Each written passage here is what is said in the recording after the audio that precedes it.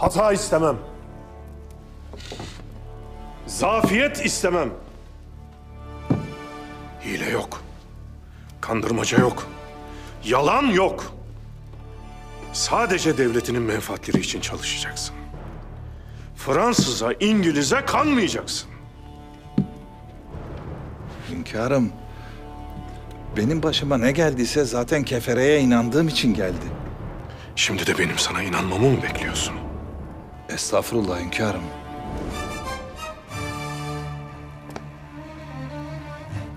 Mahmut Efendi. Samimi fikrinizi merak ediyorum.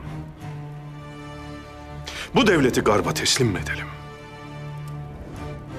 Malazgirt'ten bu yana bu topraklara döktüğümüz kanı unutalım mı? Yıkalım mı bu topraklara kurduğumuz çadırı? Söyleyiniz.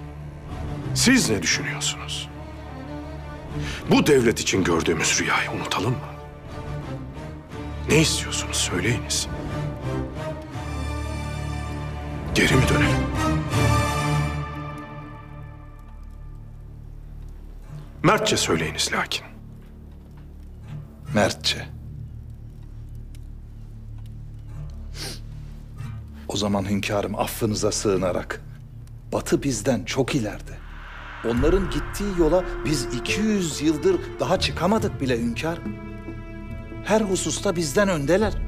Yani ben derim ki elbette ki devletimizi Batı'nın ellerine teslim etmeyelim. Lakin değişelim.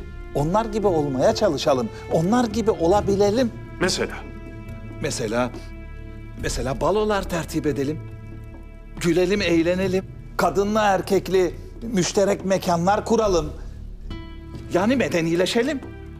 medenileşelim. Medenileşelim. Medenileşmek bu mu? Biz tam 500 yıldır dünyanın en medeni devletiydik. Lakin bu söylediklerinizin hiçbiri yoktu. Hünkârım, affınıza sığınarak Batı'nın yollarına bir bakınız. Işıl ışıl. Bu konuda onlardan yardım isteyebiliriz. Daha geçen gün İngilizler Çinlilere bir sürü bedava gaz lambası vermişler. Bedava. Evet o havadisi okumuştum. Bedava hünkârım. İngilizler pek cömert öyle değil mi? Evet. Peki İngilizler neden bedava gaz lambası dağıtır bilir misiniz? Gaz satabilmek için. Bedava gaz lambası dağıttılar. Lakin yıllarca gaz sattılar. Biz evvela kendi gazımızı üreteceğiz. Ondan sonra gaz lambası dağıtacağız. Eğer öyle yapmazsak onların sömürgesi pazara oluruz Mahmut Efendi.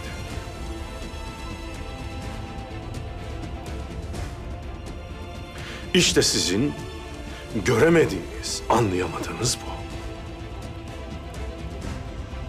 Batı elindeki her şeyi sömürdüğü milletlerden almıştır.